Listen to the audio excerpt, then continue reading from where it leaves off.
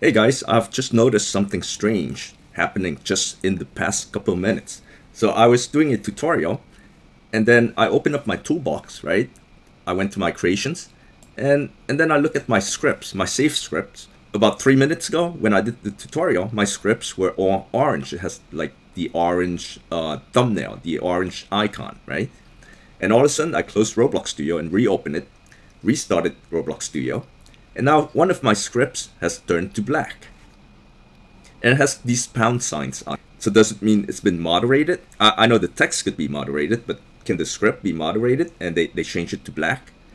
So does it mean that this script no longer works? Or what is it? Orange means it's good, black means I have to delete the script, else I'm gonna be in trouble or what? Does anyone know the answer? Leave your comment at the bottom of the video and let me know what is the difference between a an orange script and a black script. One thing I want to try right now is I'm going to right click and view this in browser to see if it tells me anything different be between the black icon and the orange icon. So this is the orange icon and I'm going to right click on this one and view in browser. So this is the black icon.